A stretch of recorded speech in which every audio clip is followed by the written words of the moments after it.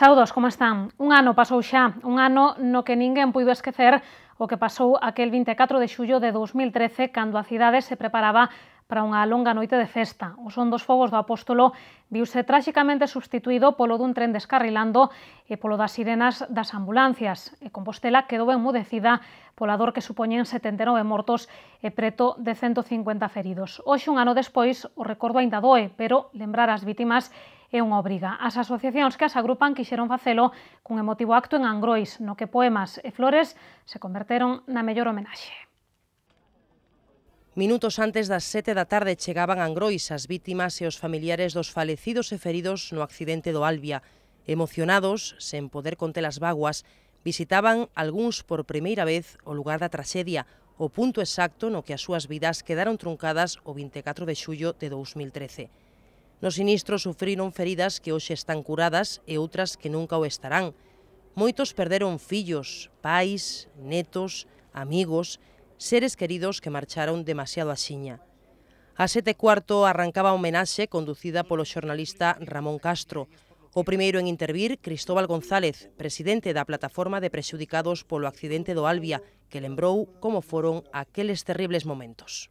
A las 20.41 hora en el kilómetro 84-431 se produce un gran estruendo por el descarrilamiento del tren. Recibes multitud de golpes. A cuál más violento, más brutal, te golpean asientos, personas, maletas, estructuras de hierro.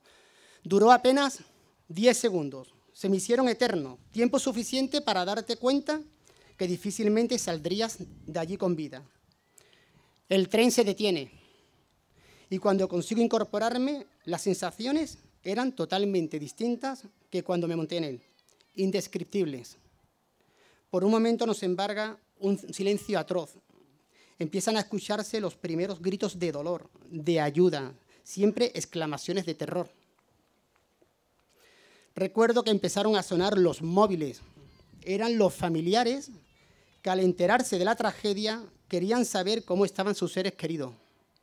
Aquellas llamadas no fueron atendidas y la combinación de las distintas melodías creaban una especie de música fúnebre. Por esa primeira axuda, ese primeiro consolo que prestaron os veciños de Angrois, as vítimas quixeron agasallar os residentes na parroquia cunha placa conmemorativa que recolleu Anxo Puga, presidente da Asociación de Veciños de Angrois. El foi o seguinte en falar. En poucos minutos, hará un año que nos conocimos y nos dimos la mano de la forma más trágica. Desde ese día ha quedado acuñada una moneda con sus dos caras, los que estabais ahí dentro y los que estábamos aquí fuera. El tiempo lo curará todo. Saldrán y acuñarán más monedas, pero nunca perderá, perderá su valor, porque el valor del ser humano no tiene precio. No tenéis nada que agradecernos, porque si le damos la vuelta a la moneda, vosotros haríais lo mismo que nosotros hicimos. Ánimo y mucha fuerza, un punto de esperanza. Al final del túnel hay luz. Angrois os quiere. Gracias. No Albia viaxaba Carmen Beas, que perdeu no sinistro a súa parella, Toño, que non se separara en oito anos. Ela tivo tamén unha lembranza emocionada para todos os que acoidaron naqueles terribles momentos, os primeiros, os veciños de Angrois. La presencia de los vecinos de Angrois fue fundamental para nosotros. Sabíamos que había llegado alguien a socorrernos. Sabíamos que ya no estábamos solos. Rompieron ventanillas, buscaron camillas improvisadas, cedieron sus mantas y nos dieron compañía hasta la llegada de las ambulancias.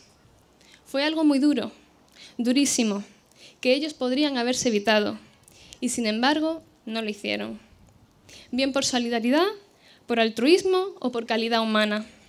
Pero allí estuvieron, ayudando, sin pensarlo. No recuerdo las caras de quienes estuvieron conmigo, pero sí recuerdo su presencia a mi lado, preguntándome si podía respirar, preguntándome mi nombre, que de dónde era o si viajaba sola. Yo apenas podía contestar. Las palabras no se materializaban en mi boca, pero estaba con ellos y ellos cuidaban de mí y cuidaban del resto. En Angrois estiveron tamén membros da Asociación de Víctimas do Accidente do Metro de Valencia que pediron xustiza na investigación do sinistro do Albia. Non faltou tampouco a poesía, a de Antonio Machado ou a de Blas de Otero, a que lle puxo voz o locutor Rafael Taibo e música o guitarrista Arturo Ruiz. Y ha de morir contigo el mundo mago, donde guarda el recuerdo los hálitos más puros de la vida, la blanca sombra del amor primero, la voz que fue a tu corazón, la mano que tú querías retener en sueños y todos los amores que llegaron al alma, al hondo cielo. Y ha de morir contigo el mundo tuyo, la vieja vida en orden tuyo y nuevo, los yunques y crisoles de tu alma trabajan para el polvo y para el viento.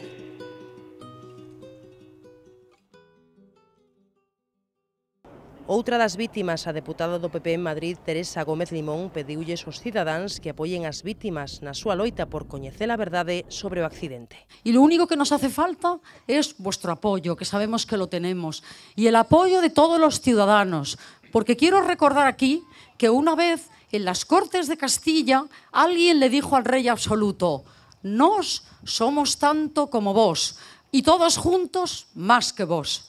Nosotros, los ciudadanos, todos juntos, somos más que los que intentan aquilatarnos, eso, somos mucho más. Y no quiero quitar más tiempo. Muchísimas gracias y estoy segura que en esta lucha ganaremos los buenos porque lo merecemos. E tras as palabras, o silencio, dous minutos para lembrar caladamente as vítimas e rotos cun berro pedindo xustiza.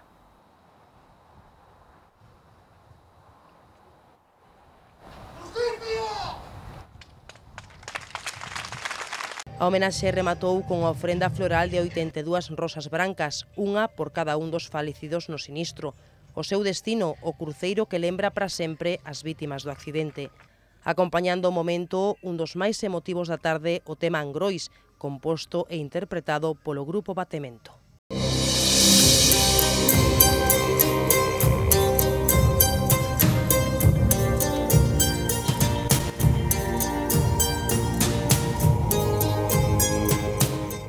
paso do Albia puxo fin a unha sentida homenaxe que seguro ninguén dos presentes esquecerá. Antes desa cita en Angrois, as vítimas do accidente do Albia foron recordadas na catedral nunha misa presidida polo arcebispo compostelán Monseñor Julián Barrio. Foi tamén unha cerimonia moi emotiva que se pechou cunha canción de homenaxe composta para a ocasión. Centos de persoas quixeron asistir esta tarde na catedral a misa en recordo das vítimas do accidente de Angrois e arroupar os moitos familiares que se achegaron hoxe a Santiago no primeiro aniversario da traxedia. O arcebispo Composterán oficiou a cerimonia que estivo cargada de emotividade. Na súa homilía, Monseñor Julián Barrio pediu a recuperación dos feridos e implorou consolo para as familias das vítimas. Encomendamos al Señor a los fallecidos, para quienes el tiempo de la prueba dio paso a la eternidad de la recompensa cruzando el umbral de la esperanza. Pedimos la recuperación de los heridos e imploramos el consuelo y la serenidad para sus familias.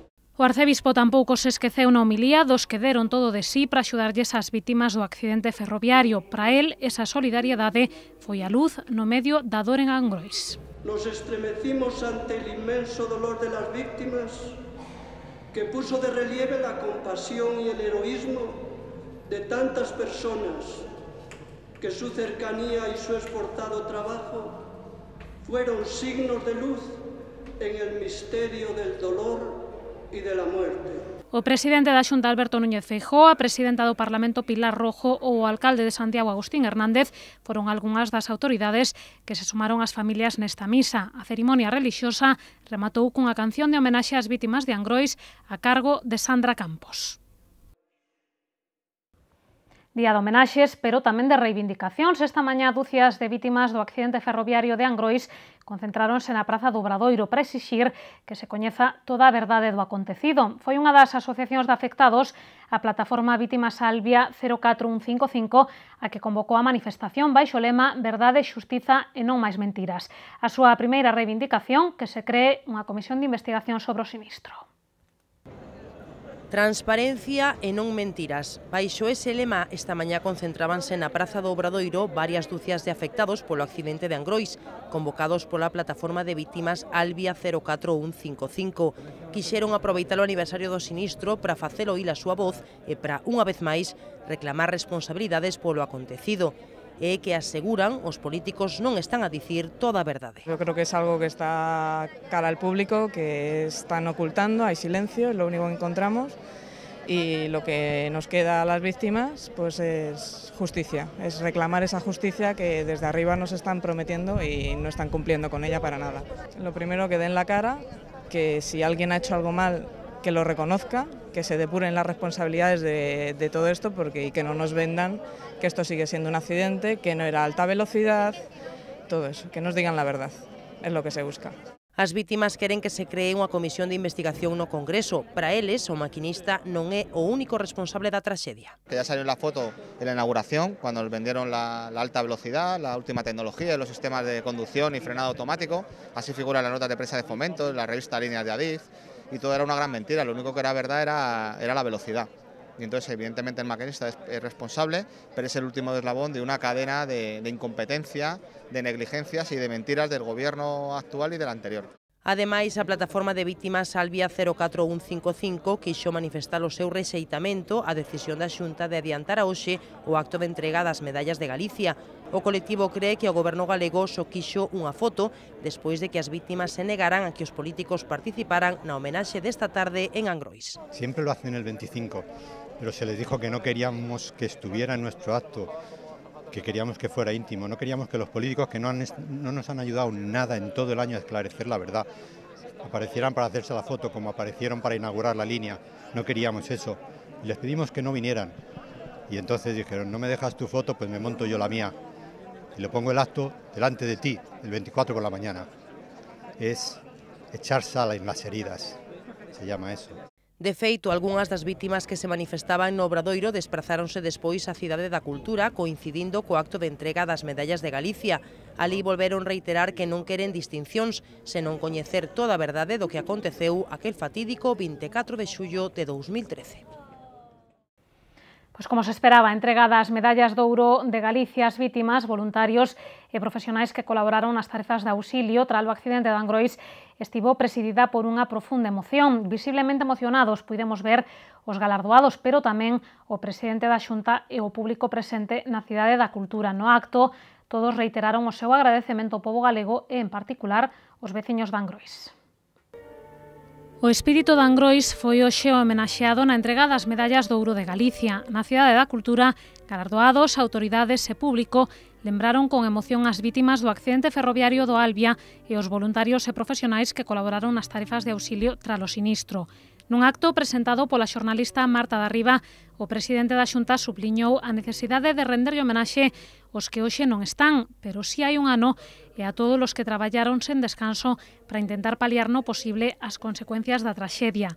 Para esa merecida homenaxe, Alberto Núñez Feijóo atopa unha palabra sinxela que resume moitas outras.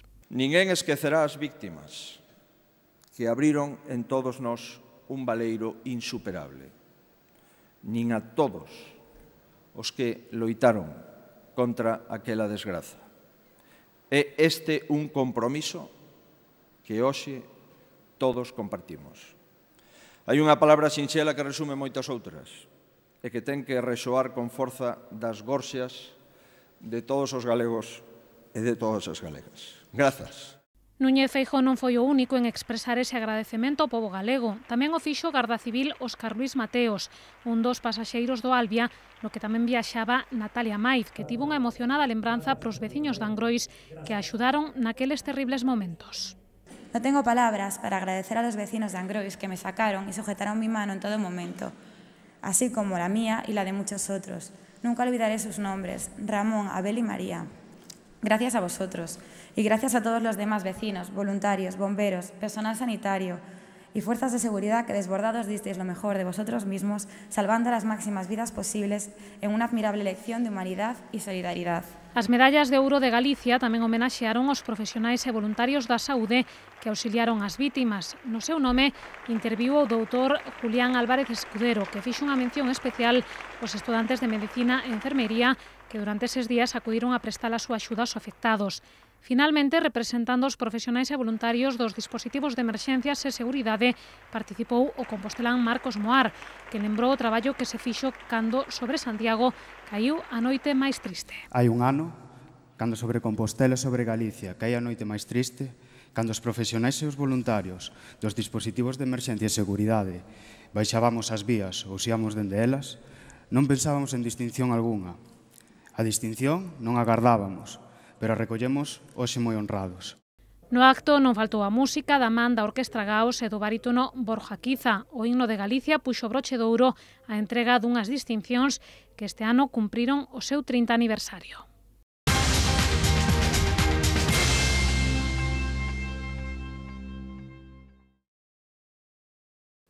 A marxe xa de todo relacionado co aniversario da traxedia de Angrois, aínda hai outros asuntos que nos deixa este 24 de xullo, o Consorcio de Santiago celebrou esta mañá Comisión Executiva e Consello de Administración, reunións que estiveron presididas polo alcalde. O organismo acordou catro novas actuacións noutras tantas igrexas de Compostela que serán financiadas cas baixas registradas nas adjudicacións doutras obras. Ademais, analizou o estado da cesión do uso do Museo das Peregrinacións a Patrimonio do Estado. O uso do Museo das Peregrinacións serálle cedido ao Estado a partir do 1 de xaneiro de 2015 e por un período de 30 anos. É o prazo que se fixa o consorcio propietario do inmoble que esta mañá reuniu a súa comisión executiva e o Consello de Administración. As xuntanzas estiveron presididas polo alcalde que lembrou que o Ministerio de Educación e Cultura xa ten en marcha a licitación do proxecto museográfico do centro por un importe de case un millón e medio de euros. Segundo Agustín Hernández, os traballos comezarán antes de que remate o ano. O proxecto museográfico preséntase eh, no mes de agosto, a apertura das plicas económicas está prevista para o mes de outubro e, polo tanto, antes de que remate o ano poderánse iniciar os traballos para acadar a, a eh, pois o inicio da, do proxecto museográfico e ao longo do ano 2015 poder xa eh, rematar ese, ese traballo e que a Xunta de Galicia asuma os custes de mantemento e conservación desa instalación e poidamos dispor na cidade do Museo das Peregrinacións. Noutra orde de cousas, o Consorcio acordou incorporar catro novas actuacións ao seu programa de monumentos para este ano, grazas ás baixas orzamentarias en actuacións como as reparacións do Teatro Principal ou o Pazo de Raxoi, acometeránse melloras nas igrexas da Universidade, San Fid de Solobio, Santa María de Verdía e San Roque de Sabugueira. O importe total será de case 90.000 euros. Estamos a falar da, do arranxo da cuberta para a eliminación das humidades e tamén do, do retablo da Igrexa de Santa María de Verdía tamén eh, actuacións de millora do entorno eh, da igrexa de San Fiz e tamén actuacións en San Roque de Sabugueira para millorar tamén o retablo desa, desa igrexa. Actuacións importantes que significan pois eh, algo máis cerca de, dos 90.000 euros procedentes das baixas do resto das actuación, de actuacións que estamos a, a impulsar Por último, o Consello de Administración do Consorcio aprobou as súas contas xerais de 2013. O peche do exercicio, o organismo contaba cun remanente positivo de máis de 2,6 millóns de euros.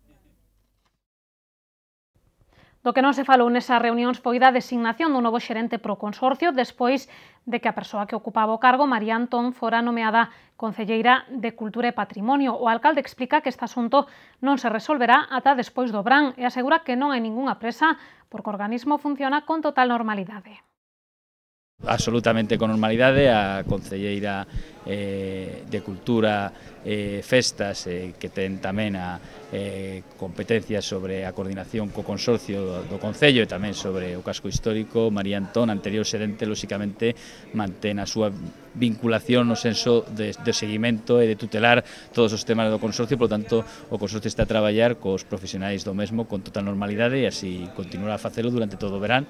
Insisto que é un tema que abordaremos co, pois, eh, eh coa necesaria reflexión reflexión respecto a topar a persoa co currículo, a formación e a capacidade aceitada para ocupar ese posto.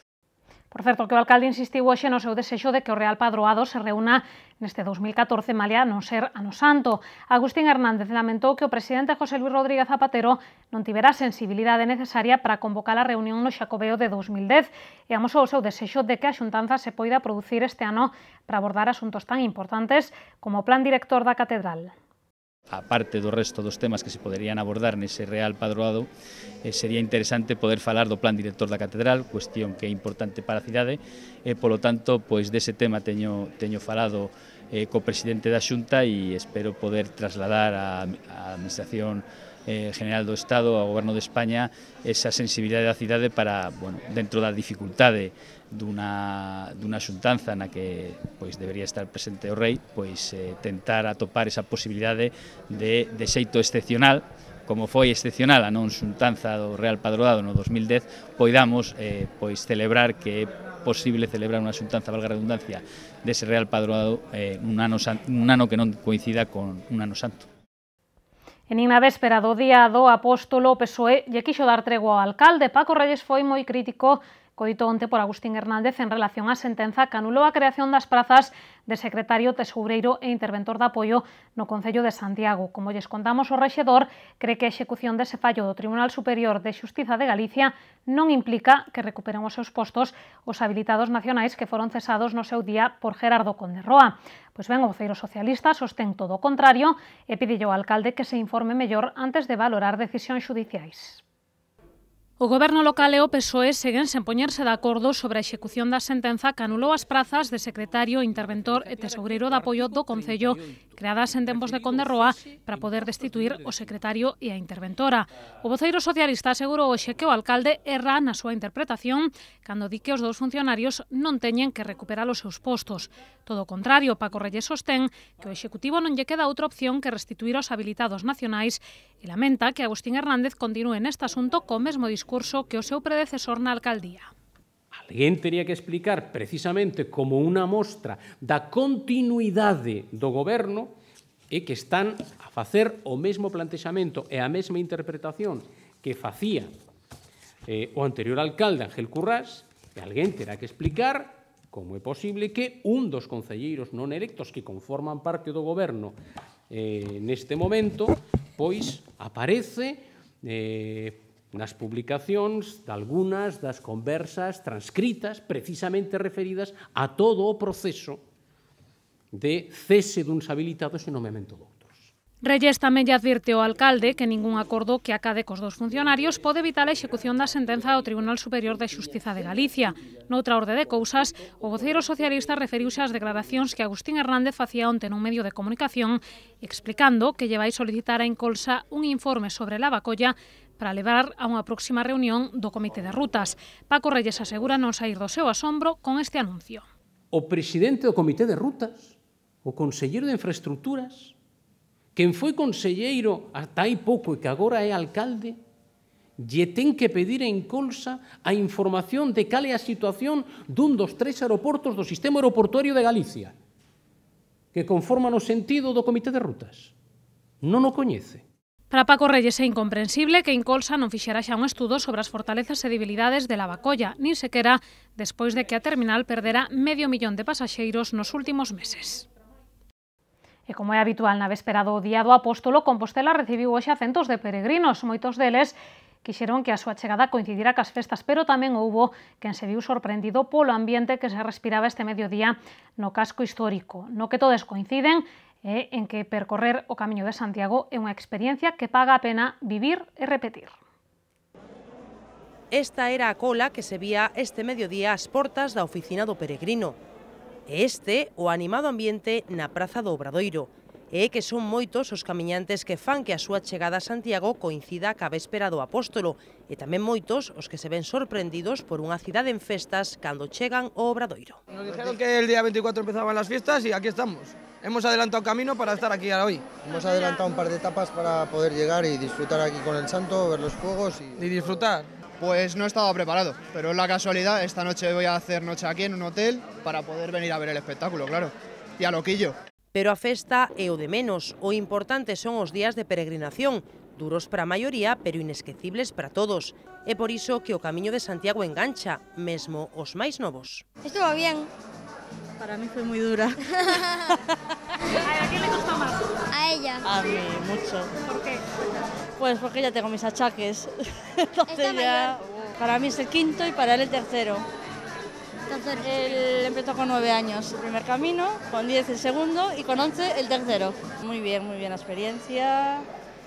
Hemos llevado todo el rato la mochila a cuestas, no hemos tenido coche escoba, ni nada, de nada, de nada. Peregrinos de verdad, ¿verdad? Bueno, la- los primeros 15 kilómetros de cada etapa, bien. Luego los últimos 5 eternos. Pero bien, bien. Luego una siesta y disfrutar del pueblo donde te tocaba.